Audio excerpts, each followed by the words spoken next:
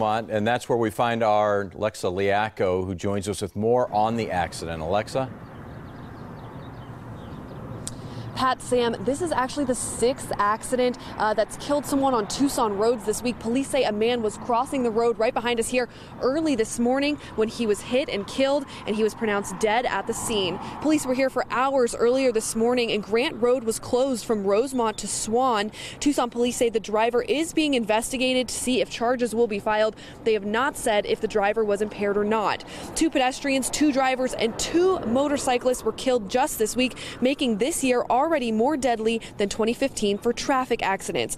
In the first six months of 2015, there have been 14 deaths on the road just in the city of Tucson. Compare that with 10 for all of 2015. Tucson police say last year, six pedestrians, one bicyclist, and three motorcyclists were killed.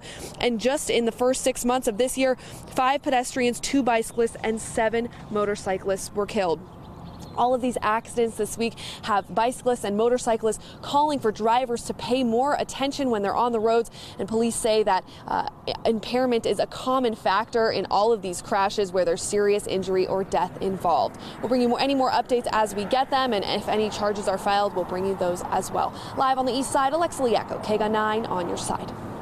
Alexa, thank you very much. And we want to check in with April Madison. It is that time when we need to start thinking about tomorrow and Sunday, weekends coming up.